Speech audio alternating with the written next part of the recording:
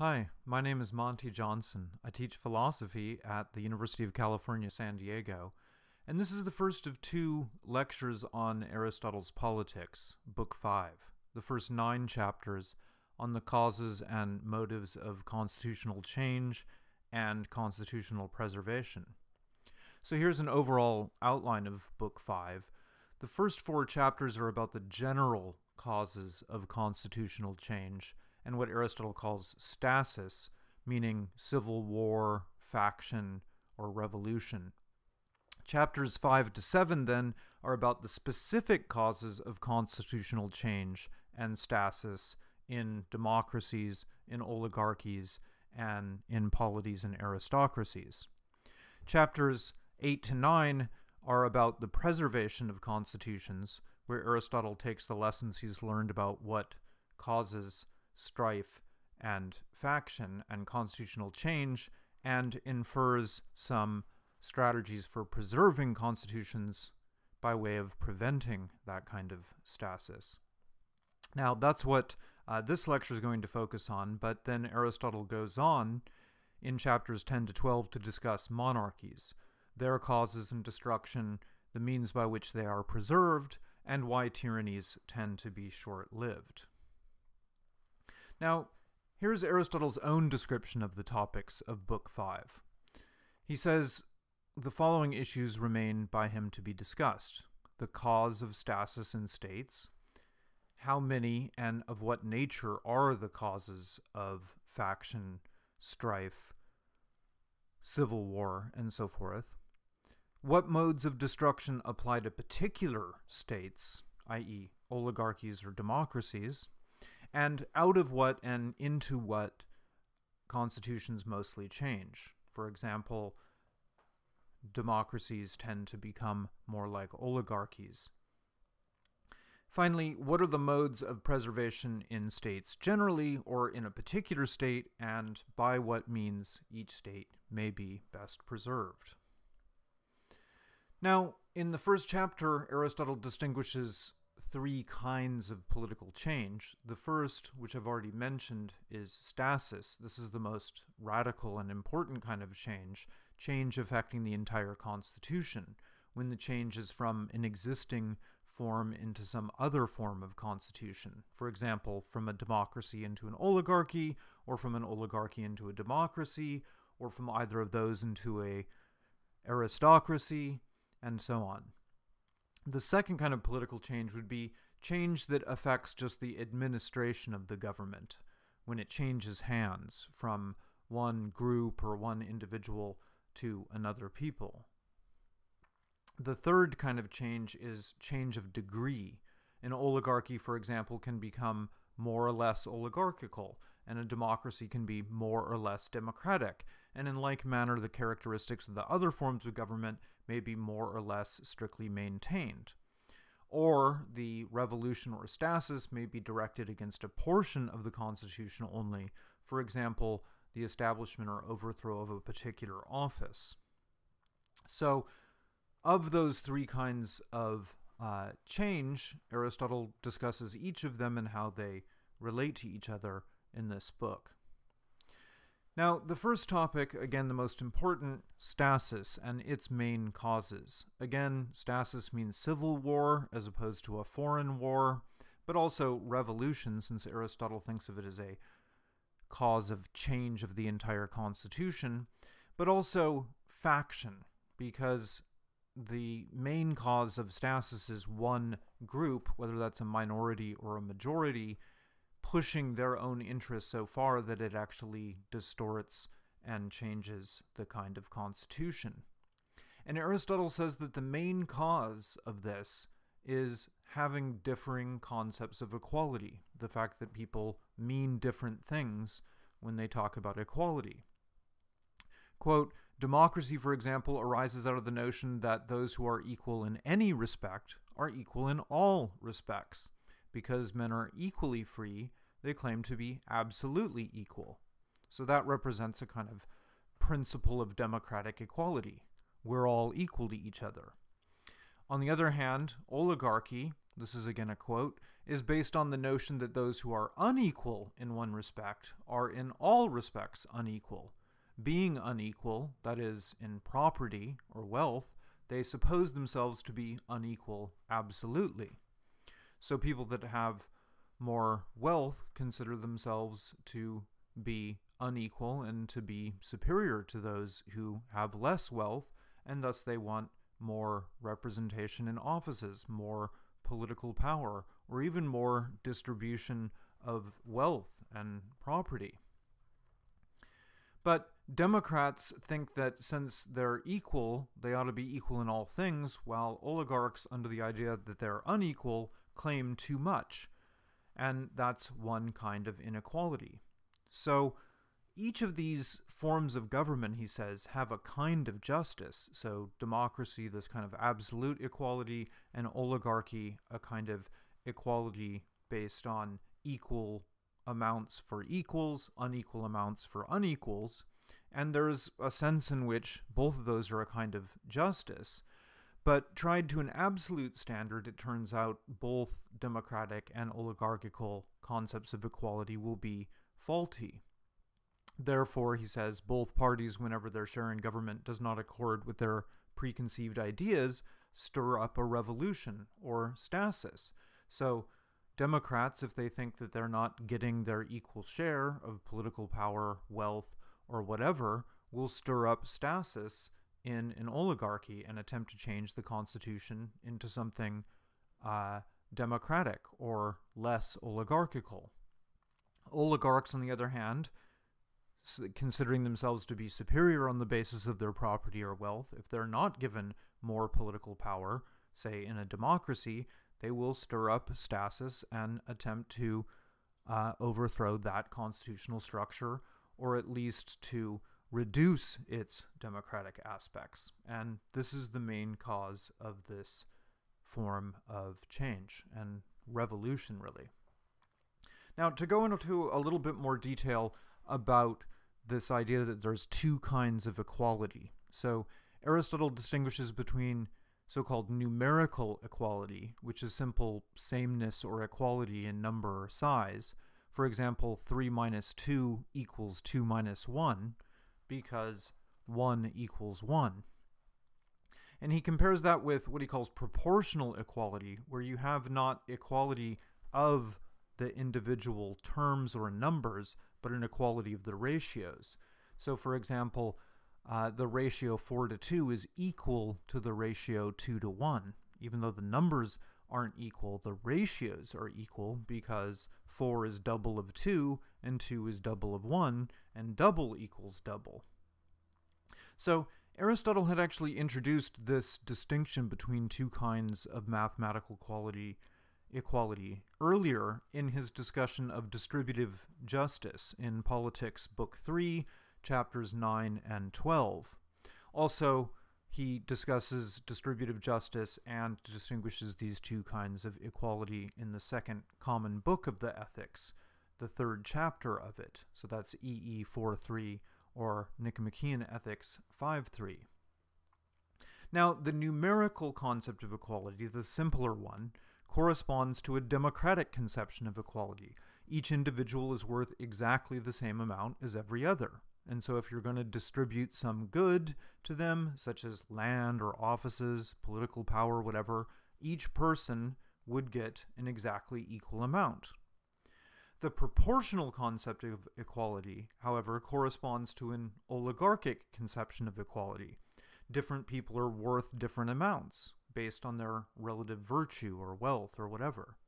So if you're to distribute some good to them, again, something like land or political offices, those who are supposedly worth more would get a proportionally higher amount. So those twice as virtuous, say, or twice as wealthy if we were just using wealth as the basis for political power, would get twice as much political power, political offices, land, or whatever, as those who are half as virtuous or wealthy as they are. Now, according to Aristotle, both kinds of equality should be employed in a constitution, and that would be conducive to the stability of the constitution.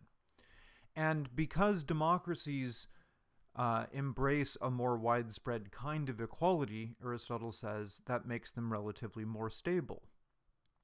So, first of all, he says that everywhere, again, is inequality is the cause of revolution or stasis, but an inequality in which there is no proportion. For instance, if you have a perpetual monarchy among people who are equals, um, always there'll be a desire for equality among those equals, and this will result in stasis or rebellion against a perpetual monarch. And so, employing only one kind of equality, as the example shows, is bad and causes instability. That a state should be ordered simply and wholly according to either kind of equality is not a good thing. The proof is the fact that such forms of government never last. They are originally based on a mistake, and as they begin badly, they cannot fail to end badly.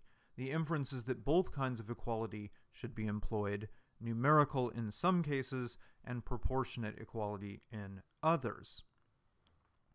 So your your constitution for example might distribute offices according to proportionate equality and give offices to those who have more uh, virtue, more justice, more courage, etc., but might allow um, land to be distributed equally to everyone. And so you would then, uh, everyone would have some kind of share and some kind of uh, basic equality with other people, but then in, in order to satisfy those people who are or consider themselves to be superior, there would be this unequal distribution to them of political offices, and Aristotle thinks such schemes are very conducive to constitutional stability. Democracy, however, is inherently more stable and has less stasis. So he says that democracy appears to be safer and less liable to stasis than oligarchy. For in oligarchy, there is the double danger of the oligarchs falling out among themselves and also with the people. But in democracy, there's only the danger of a quarrel with the oligarchs. No dissension worth mentioning, he says, arise among the people themselves. Now, that might be questionable. Maybe there is a lot of dissension among people themselves and even hard to unite them. But he's talking here about the context of a kind of class struggle, economic and political interests of a very basic kind being vied over. Democracies uh, tend to be more stable because also they have a larger middle class. So he says, quote, We may remark further that a government which is composed of the middle class more nearly approximates to democracy than oligarchy and is the safest of the imperfect forms of government. Very important quotation, because although Aristotle acknowledges that democracy is an imperfect form of government, it's actually one of the corrupt or deranged forms, uh, he does think that it's the safest of those. If you're going to have a bad kind of constitution, it's much better to have a democracy than it is to have an oligarchy or a tyranny. And that's because, in part, democracies have a bigger middle class, and so there's less of this kind of class warfare between rich and poor, less demands by the rich to have unequal shares of office, less demands by the poor to be considered equal to them on the basis of their radical numerical concept of equality. And so, since democracies have this large middle class, they end up having less stasis and more agreement in general. They are therefore the least bad of the imperfect forms of government. Now, in chapter 2, Aristotle discusses the motives and basically the causes of stasis. Although he doesn't explicitly say so, the seven causes of stasis that he discusses in this chapter can be interpreted according to his distinction between four kinds of cause. There's the formal cause, the final cause, the efficient cause, and the material cause, and we can map them on to the various motives and causes of stasis that he discusses in this chapter. So he first describes the feeling, the actual emotional feeling of the revolutionaries and what those who are propagating factionalism, party politics, or revolution, and what kind of uh, motives and emotions they have, and what is the cognitive dimension, especially of the emotions that they're feeling. So he describes a very complex set of desires, consisting in the first place of the desire for equality and gain and honor. And this is sort of the formal cause of stasis. He says the universal and chief cause of this revolutionary feeling has already been mentioned. It's the desire for equality, when people think that they are equal to others who have more than themselves. Or, again, the desire of inequality and superiority, when conceiving themselves to be superior, they think that they have not more but the same or less than their inferiors, pretensions which may and may not be just. Inferiors revolt in order that they may be equal, and equals so that they may be superior. Such is the state of mind which creates revolutions or stasis. Now, that's one aspect of the revolutionary feeling. Another is the desire for one's own gain and honor, including the want to divert punishment or dishonor away from oneself or away from one's friends. So, not just what is the feeling that you're kind of irked by being treated unequally or treated equally, depending on who you are, but then a forward, future looking desire to regain that honor or gain more of those possessions that you think weren't distributed equally, or avoid punishment or dishonor from befalling yourself so that you throw yourself in with a party or faction or revolution in order to distract from it. That's the final cause in the sense of the aim or the purpose of the revolutionary uh, feeling. Now, the desire to prevent others from maintain from obtaining gain and honor, justly or unjustly, Aristotle treats as the efficient cause. So I notice that somebody's getting more profit, more money, more honor than I think they should, that inspires me to um, want to desire to to get more for myself of honor, property, uh, whatever. And so that it's it's what spurs this first movement that makes it like an efficient cause. And again, it's a desire to prevent others from obtaining gain and honor but other things that could trigger it and cause it are insolence, fear of punishment, excessive predominance, contempt, and disproportionate growth in some part of the state. So there's actually seven different origins or efficient causes of stasis that Aristotle enumerates here. And he mentions that they may also be expanded to include election intrigues, carelessness, and neglect about trifles. So these are all efficient causes, or perhaps cooperating causes, that support this revolutionary feeling. And he goes on to discuss each one of them in detail in this and the next chapter.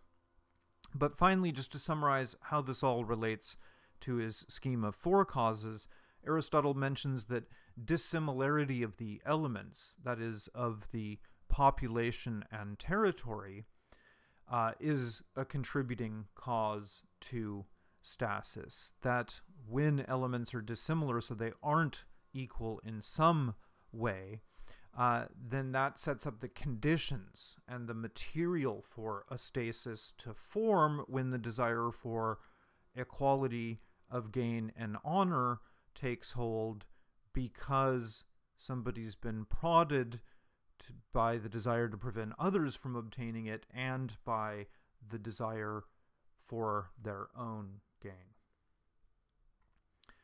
Now, uh, a little bit more discussion of the motives for uh, stasis uh, in chapter 3. Again, we've already said quite a bit about gain and honor. Uh, those are key factors in the revolutionary feeling a desire for equality or inequality of gain and honor. Aristotle, in reiterating this in this chapter, says now, in oligarchies, the masses make revolution under the idea that they are unjustly treated because, as I said before, they are equals and have not an equal share. And in democracies, the notables revolt because they're not equals and yet have only an equal share. So we can see how their their uh, dispute exactly corresponds and correlates. Now, the uh, third uh, sort of um, instigator of this feeling of stasis could be insolence or greed. So he treats insolence or hubris and greed as a single cause, even though insolence without greed can also, in theory, be the cause of revolutions. But the main idea here is that the perception of oneself being dishonored or that of others receiving disproportionate honor will motivate citizens to factionalism and revolution in order to restore their own honor or remove that of others. And so this is a cause independent of the desire for honor mentioned above, because here the insolence of magistrates is the primary cause of the desire to increase one's own honor or decrease another's honor, whereas insolence or greed need not be the cause of the desire for honor. Another cause here excessive predominance, when, when one person becomes so much more powerful than the rest of the political community, then the result is a kingship or tyranny, or what Aristotle calls a dynasty, a family kingship. Aristotle mentions that the Athenians used the instrument of ostracism in order to prevent this cause of stasis, meaning that they would uh, all vote uh, on a person to be removed, to be sent into exile because they'd become too uh, predominant over others and were considered a threat to political order. He says it's much better to provide from the beginning that there shouldn't be preeminent individuals instead of letting one of them come into existence and then having to resort to a remedy like ostracism. So we would we should remove people who are too wealthy or too politically power powerful before they get more powerful or we should prevent them from coming into existence in the beginning have more of an equal society and equal opportunities so that uh, no one is able to become preeminent because it's much harder and much more of a crisis to deal with after they already have. Now, fear is another motive. Aristotle mentions fear of punishment, for example, or fear of an enemy's power as a cause of conspiracies, and he names historical examples like Rhodes. Contempt is also a cause. Uh, the contempt that one class has for another. For example, in oligarchies, the rich have contempt for the poor. In democracies, the poor have contempt for the rich. And this contempt causes neglect of the interests of the other class and thus motivates that class to conspiracy and factionalism. Now, Aristotle also discusses electioneering or campaigning as a cause of stasis. Now, he's overly brief here, but the example he gives suggests that election intrigue motivated a particular state to shift from elections to sortition. So something went wrong with their elections, so they decided we'll shift to assigning offices by lot. Now, since selection of offices by lot is considered a democratic process, while uh, elections are considered an oligarchic process, then this may have caused the Constitution to change from an oligarchy into a democracy. You could imagine it going the other direction if instead of uh, deciding by lots, we decided to start having elections, then elections, then, then our constitutional type might change from a more democratic to a more oligarchical one. Carelessness is also a motive for stasis. Aristotle's examples here have to do with disloyal people getting into high office and changing an oligarchic into a democratic constitution. Again, you can just as easily imagine the opposite somebody getting elected or chosen by lot to a democratic office and then supporting oligarchic measures. Another cause, neglect. Aristotle's example here is where you'd set a certain property qualification for office but it was pretty small, and then it diminishes over time, perhaps because of inflation, so that the qualification no longer excludes certain cases. It used to cost $100 uh, to um, be able to, you used to have to prove that you had $1,000 on hand in order to qualify for an office, but then as more and more people are able to show that they have $1,000, more and more people are able to qualify for the offices, and so it becomes more democratic and less oligarchic. So you shouldn't neglect that if you want to preserve an oligarchy. You should keep increasing the property qualification if, for example, the relative supply of money is going to continually increase. Aristotle also discusses racial differences as a motive for stasis. This corresponds to what he called dissimilarity of elements in the previous chapter. His examples are problems mostly caused by colonization, when colonists from two different cities try to set up their a city together, or an established colony tries to absorb a fresh body of colonists. Aristotle also discusses problems of adjustment of certain peoples to certain other peoples or places or even locations within a city. So he says that the occupants of the Piraeus, which is the harbor and shore of Athens, are somehow naturally more democratic than the people who are inland or who are in the citadel of the city. Finally, disproportionate increase in any part of the state, and this is a complex factor, so I will discuss it on its own slide. This is a major cause of stasis that Aristotle is interested in. He says that political revolutions spring up from any disproportionate increase in any part of the state. Now, what does he mean by part of the state? If we look back at the previous books in the politics, we'll see that several different things have been called parts of the state. First of all, households, which consists of master, slave, wife, and children. That's in Book 1 and Book 4. He's also called social classes, which are stratified by uh, the level of birth, education, virtue, and so forth. Those were called parts of the state in books 3 and 4, and also will be in book 6. Also, he's described economic classes, i.e., rich and poor, as being parts of the state. That's in book 4, also later on in book 5, and he uses the same terminology in book 6. Also, he's described as parts of the state's parts of the state just jobs or functional groups. For example, warriors, farmers, politicians, etc. in Book 4, and he returns to this way of speaking also in Book 7. He seems to hold that a disproportionate increase in any of these parts relative to the other parts may result in a political revolution. And here he makes an interesting analogy to zoology, especially interesting because he wrote a lot about zoology in his biological works, and this analogy doesn't seem to correspond well to his own methodological presuppositions in zoology. But here in the Politics he says, as a body is made up of many members, and every member ought to grow in proportion, that symmetry may be preserved but loses its nature if the foot be four cubits long and the rest of the body two span. And should the abnormal increase be one of quality as well as quantity, may even take the form of another animal. Even so, a state has many parts, of which some may often grow imperceptibly, for example, the number of poor in democracies and in constitutional states. So, in the example, he uses, he's talking about economic classes. Suppose that uh, there's a widening rich poor gap, uh, small middle class, you get more and more numbers of people that are poor.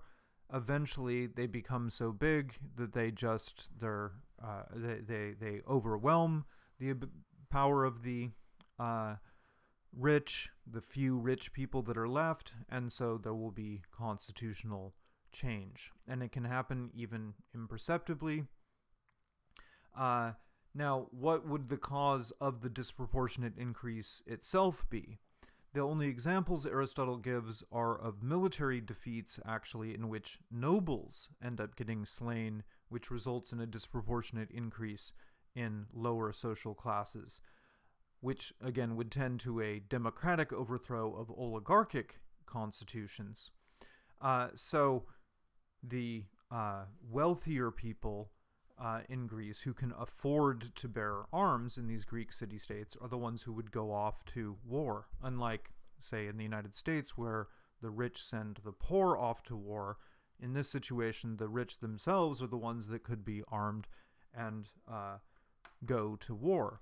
So then they risked being decimated uh, if things went very badly in a battle, in which case uh, there'd be none of them left, and there would just be the poor uh, in the city, and then you would, uh, in fact, have a kind of democratic uh, revolution.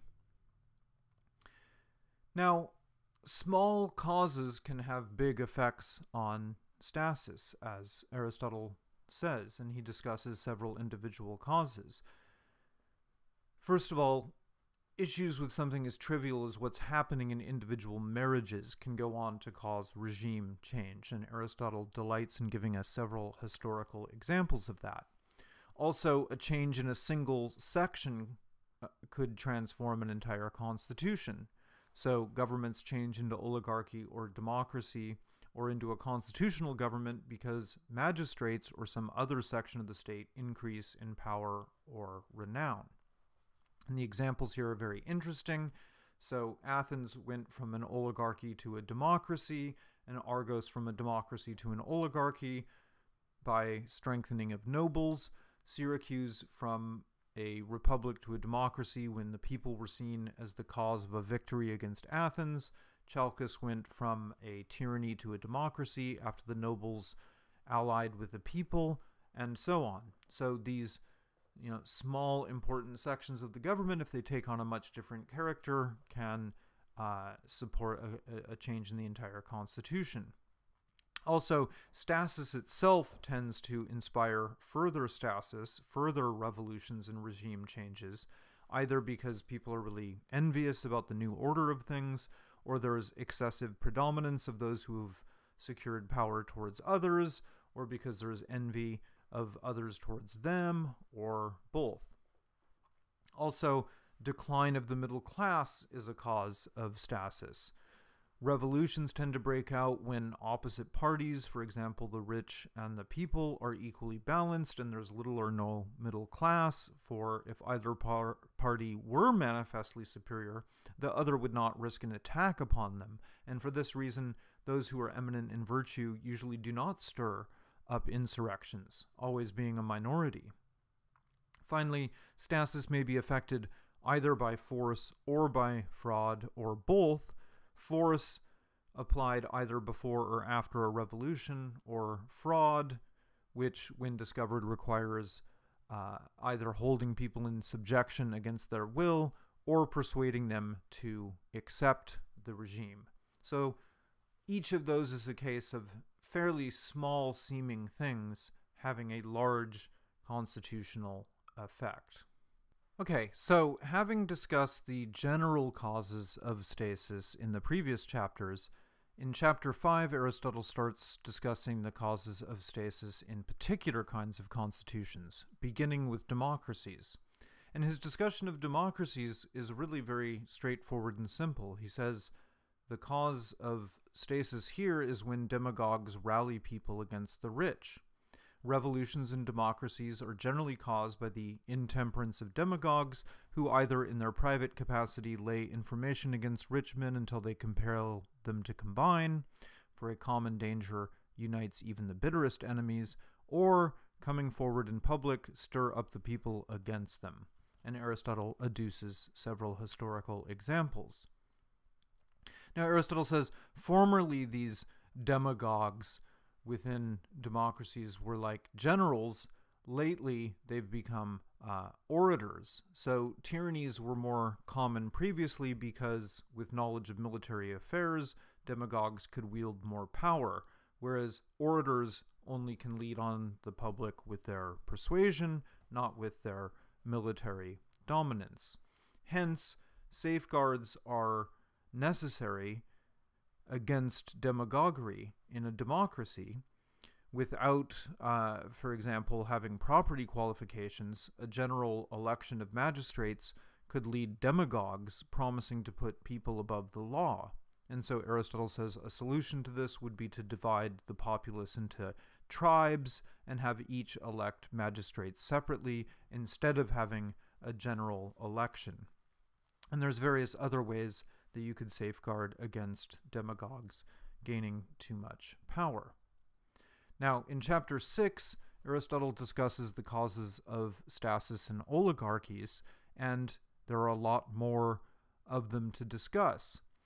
Um, for example, when oligarchs oppress the people, for then anybody is good enough to be their champion, especially if he be himself a member of the oligarchy. This, Aristotle says, generally results in a tyranny, but he gives other historical examples of oligarchies becoming republics and even democracies.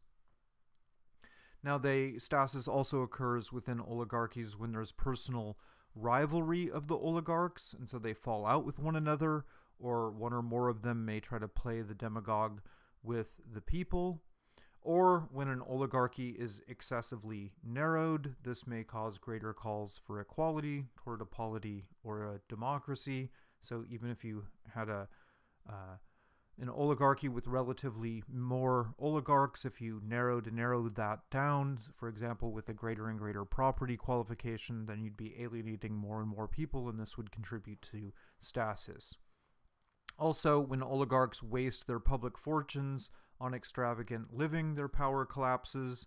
When some party within an oligarch steals from the treasury, this can cause internal dissension and cause their power to collapse when within an oligarchy, an even smaller oligarchy is created.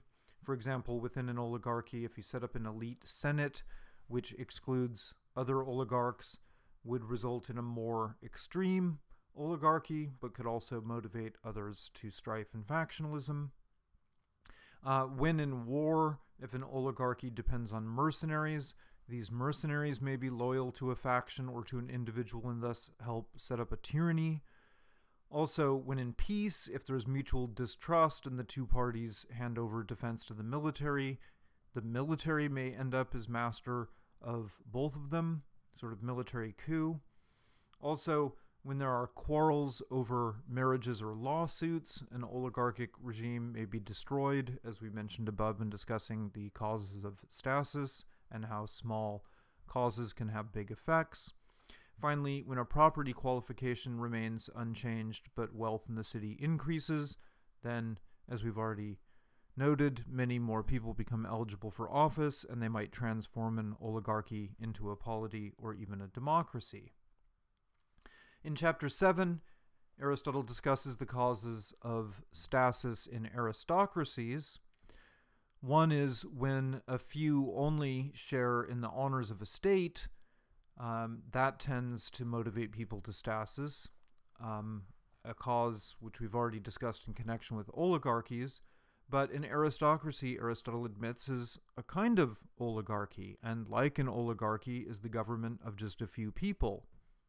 And since all so called aristocratic governments incline towards oligarchy, the notables are apt to be grasping. That is, um, there will always be some notable people who are left out of the honors of the state.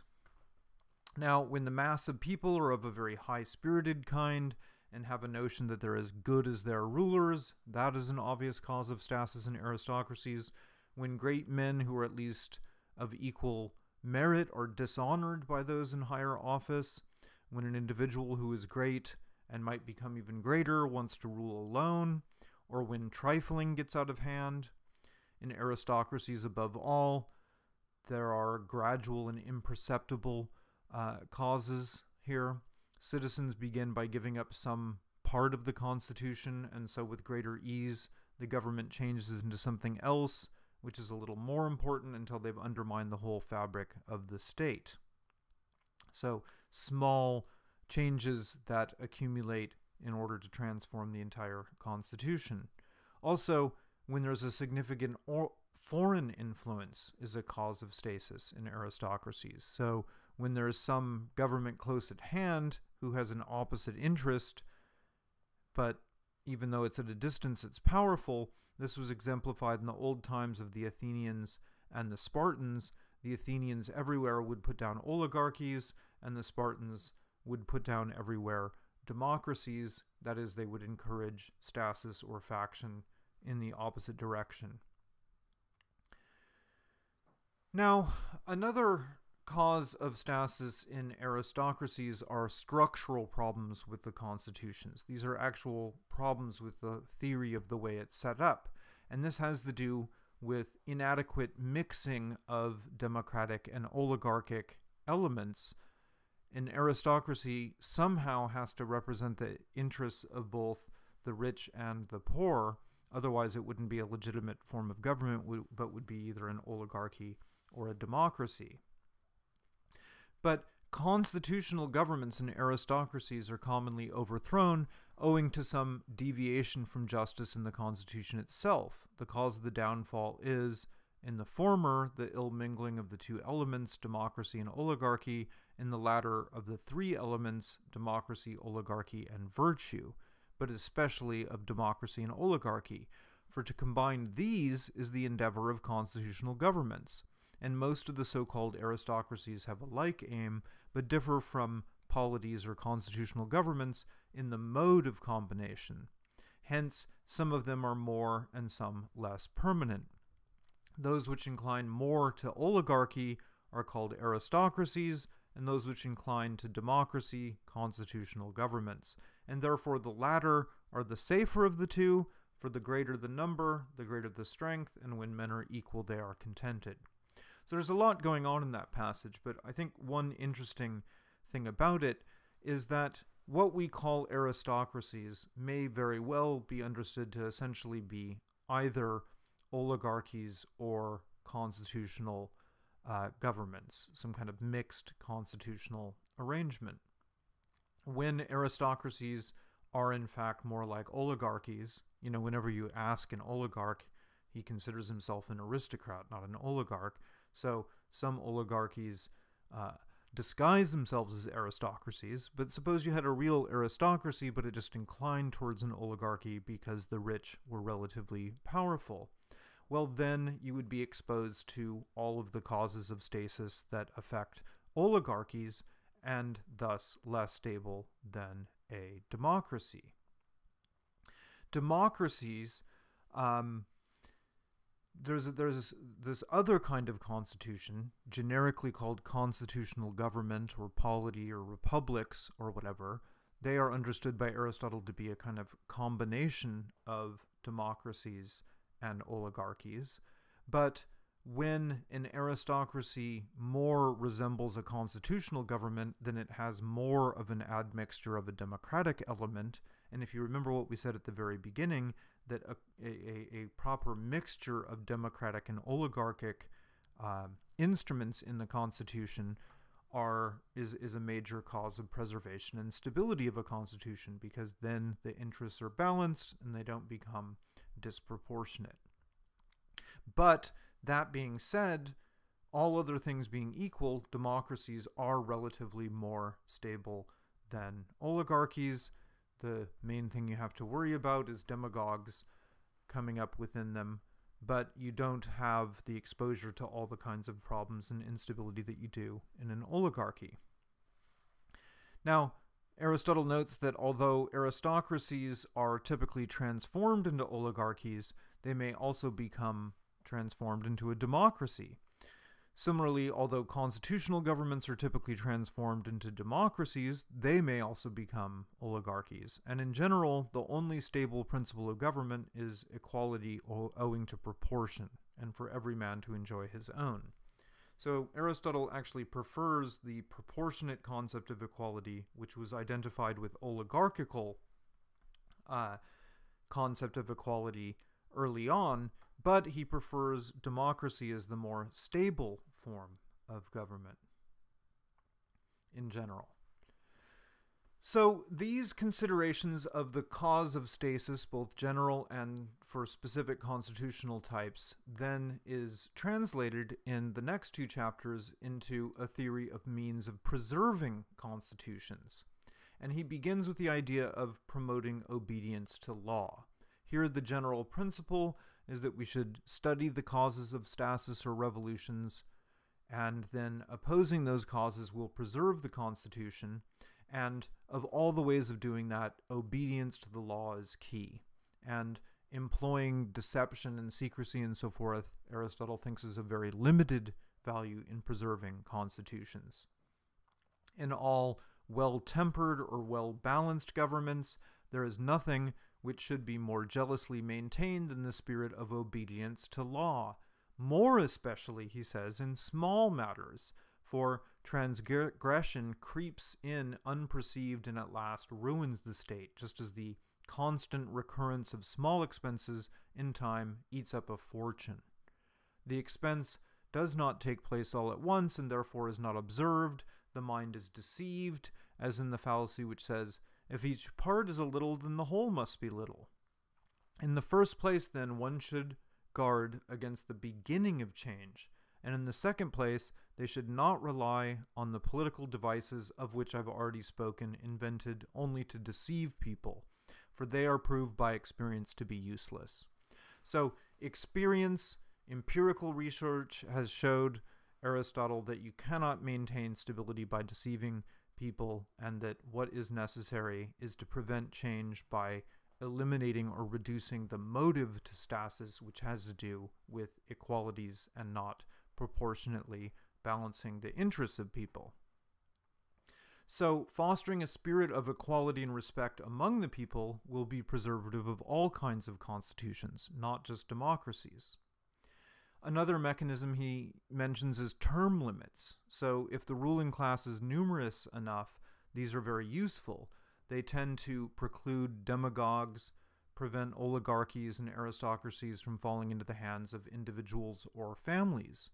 Long tenure of office tends to entrench individuals and enhance individual power at the expense of the state. Now, the second um, general set of means of preserving constitutions, he discusses various kinds of safeguards. First, you could invent terrors. Quoting, Constitutions are preserved when their destroyers are at a distance and sometimes also because they are near, for the fear of them makes the government keep in hand the Constitution. Wherefore, the ruler who has a care of the Constitution should invent terrors and bring distant dangers near, in order that the citizens may be on their guard and, like sentinels in a night watch, never relax their attention. End of quote. Now, it might seem shocking to have Aristotle uh, advocating the use of terrorism in order to preserve a constitution, but this is more likely just an observation that they end up getting preserved when such terrors have been invented. In his study of constitutions, this has been revealed that this is one of the techniques that people take. Now, as we saw on the last slide, Aristotle thinks that that kind of deception is not in the long run effective and will not contribute to the stability of the state. But he mentions it as a technique that has been employed and may have some limited usefulness. Additionally, limiting contention and dissension among the ruling class through statesmanship is a cause of stability. Adjusting property qualifications in response to inflation or deflation to make sure you preserve the same kind of people coming into office, and also safeguarding against any part of the state growing disproportionate in power. The proper remedy, he says, for this evil is always to give the management of affairs and offices of the state to opposite elements. Such opposites include the virtuous and the many, or the rich and the poor. Give them both, give each set some kind of role in the state. Another way, he says, is to combine the rich and poor into one body or increase the middle class. There's enough of a middle class, an end will be put to the revolutions which arise from the motive of inequality, the main cause of stasis. The third general set of things that are discussed as means of preserving constitutions, Aristotle says, above all, a state should be so administered and so regulated by law that its magistrates cannot possibly make money, so you need to avoid corruption. In oligarchies, this is a special problem. The majority don't really mind being kept out of power. What they really mind is the idea that those who are in power are enriching themselves and not acting in the common interest. So, if you could arrange it so that an office brought absolutely no profit, then and only then would a democracy and aristocracy, he says, be combined. for both notables and people might have their wishes gratified. All would be able to hold office, which is the aim of democracy, and the notables would be magistrates, which is the aim of aristocracy. And this result may be accomplished when there is no possibility of making money out of the offices, for the poor will not want to have them when there is nothing to be gained from them, they'd rather be attending to their own concerns, and the rich, who do not want to make money from the public treasury, will be able to take them.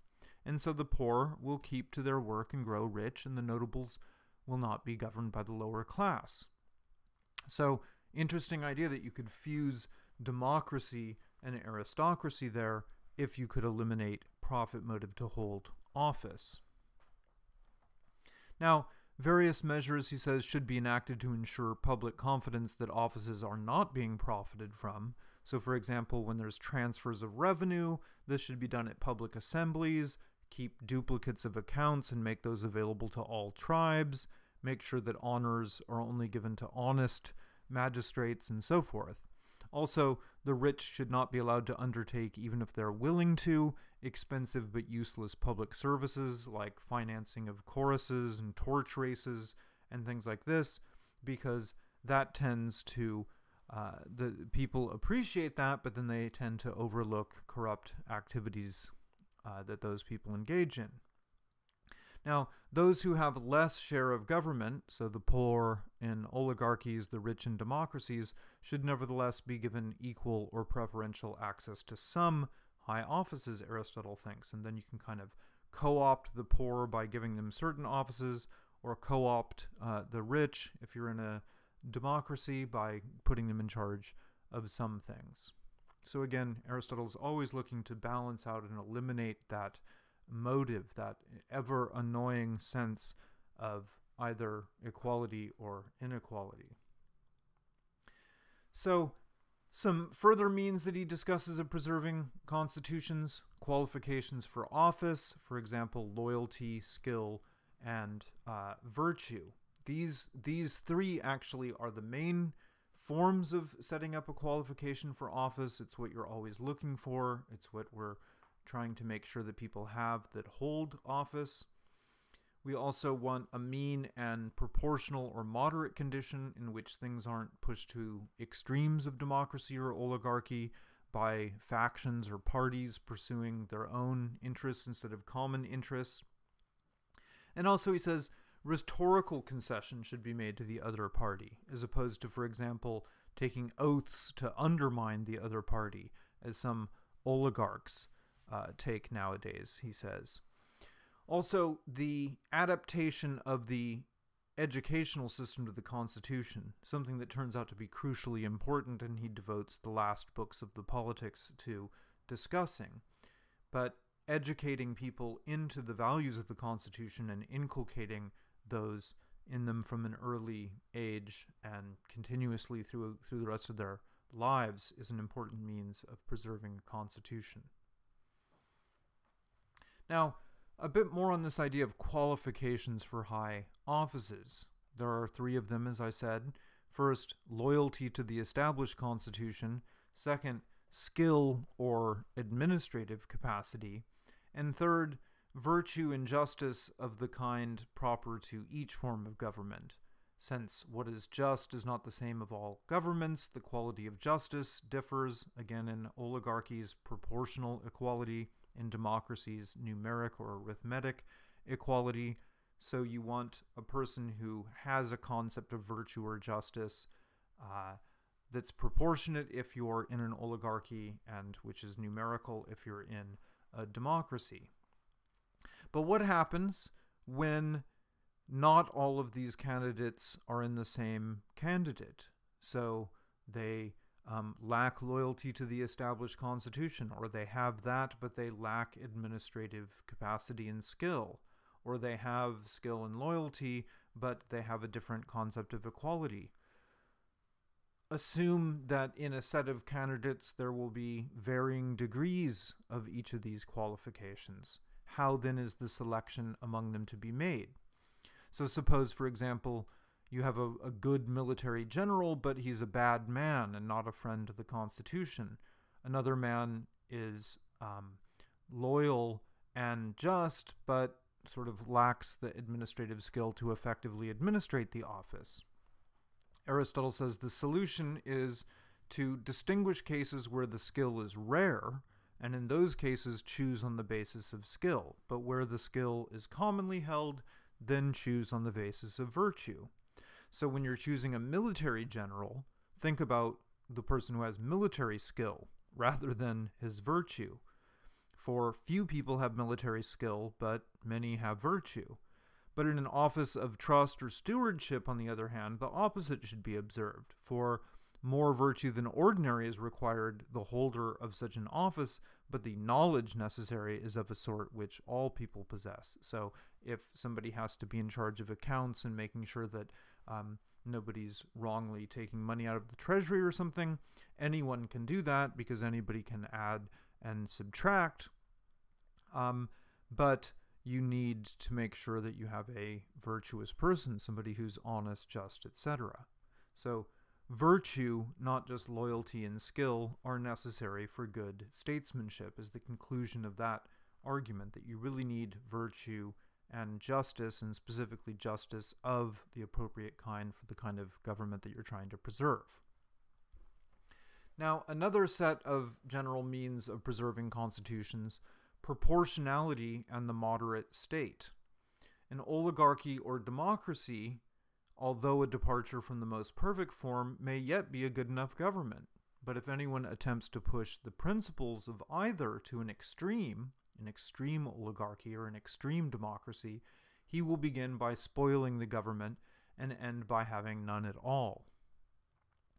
Wherefore, the legislator and the statesman ought to know what democratic measures save and what destroy a democracy, and what oligarchic measures save or destroy an oligarchy.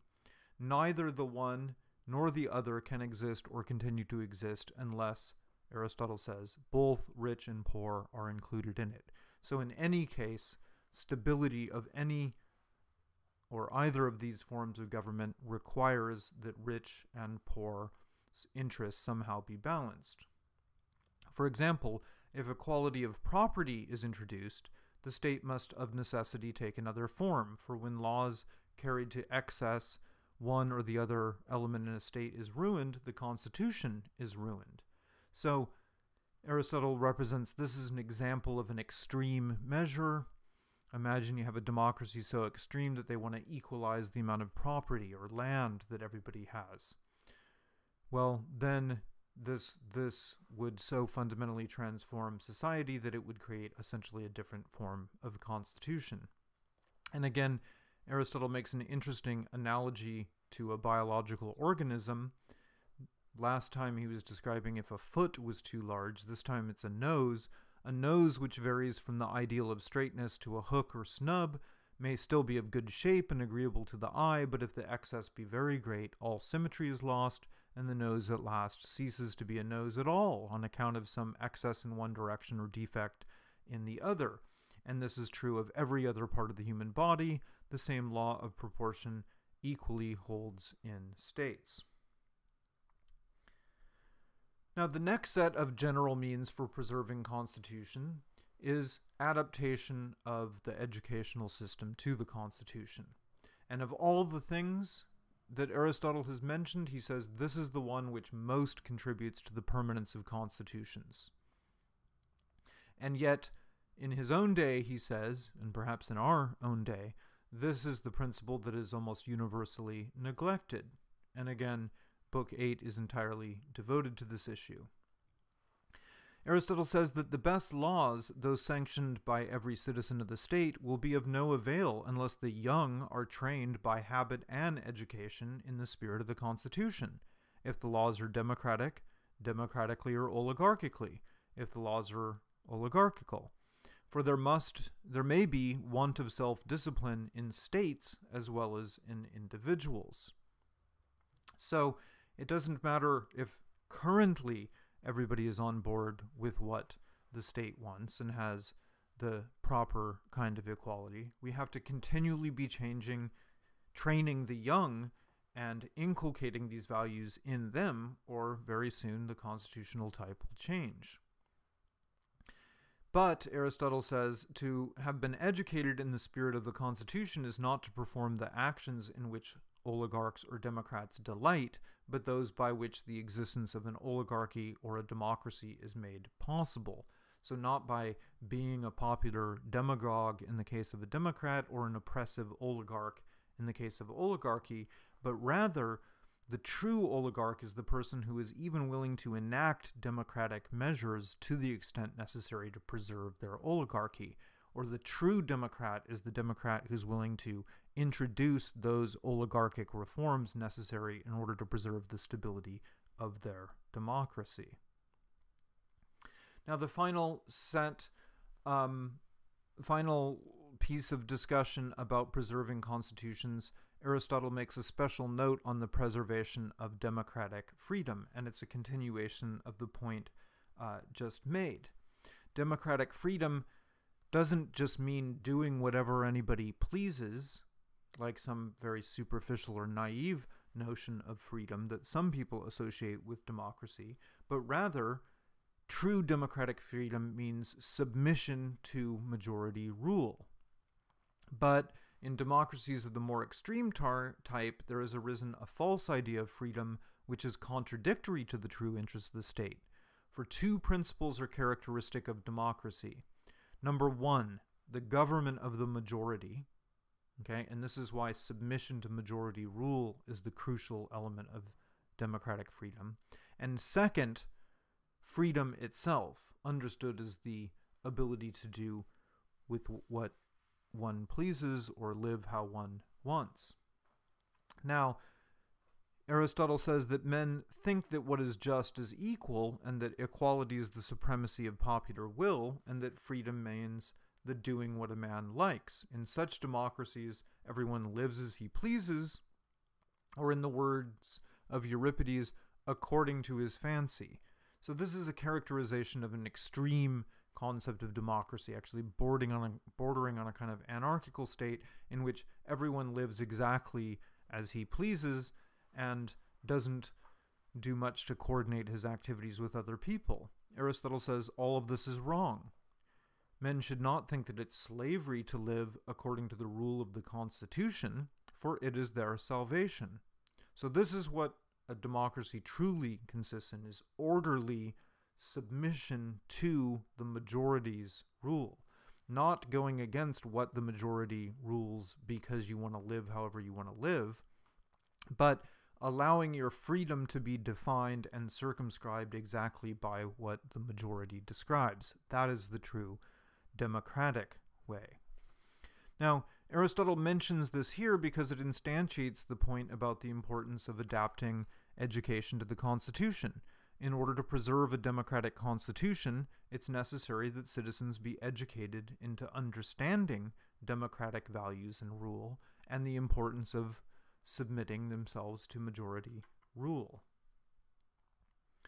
So, to summarize the general means of preserving constitutions, which Aristotle has deduced from his analysis of the means of destroying constitutions and then sort of reverse engineered these techniques.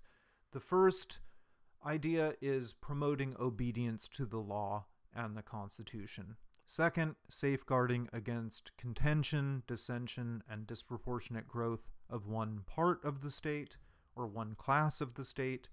Third, enacting measures to avoid corruption, so transparency in the use of state funds and so forth. Fourth, requiring qualifications for office, loyalty to the Constitution, skill, and virtue in order for people to be candidates to hold office. Fifth, moderating the Constitution to ensure proportionality between the parts of the state, the rich and the poor, the oligarchic and democratic elements, and thus avoiding the extreme policies advocated by parties and factions in their own interest. And finally, adapting public education to the specific form of the Constitution. All of those will be ways of preserving each kind of constitution and, in general, any kind of constitution. Thank you.